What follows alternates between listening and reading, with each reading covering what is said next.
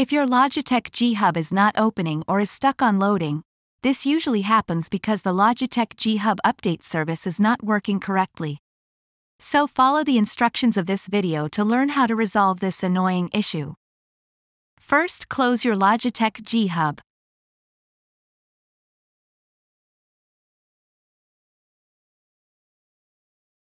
Open the Start menu and type Services.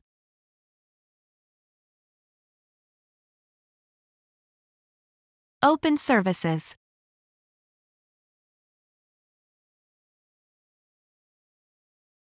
Locate the LG Hub service.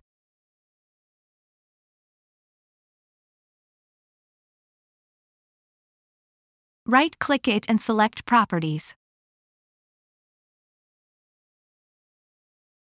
Press Stop to stop the service. Now open the Start menu and type Task Manager. Open Task Manager.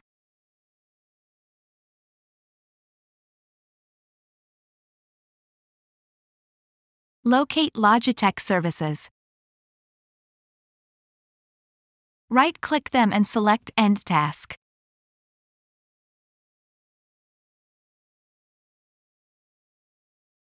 Now close your Task Manager.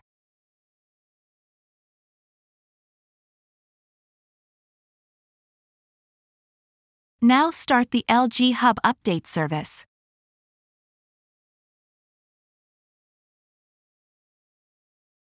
Press OK and launch Logitech G Hub.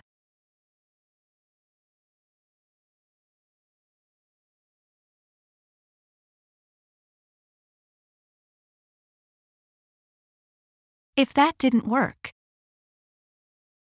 first open the Start menu. Open your settings. Open Apps. Open the Installed Apps section. Locate Logitech G Hub. Click on the three dots to open the Logitech G Hub app options. Select Modify. Press Yes.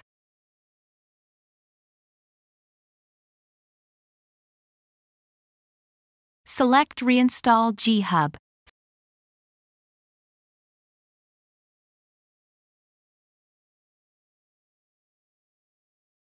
Select Transfer my current settings.